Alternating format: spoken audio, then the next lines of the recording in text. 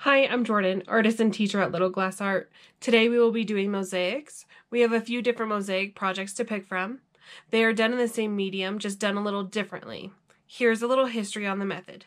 Mosaic is an art form that is at least 4,000 years old and originated in Mesopotamia with bits of colored stones, glass, and other materials.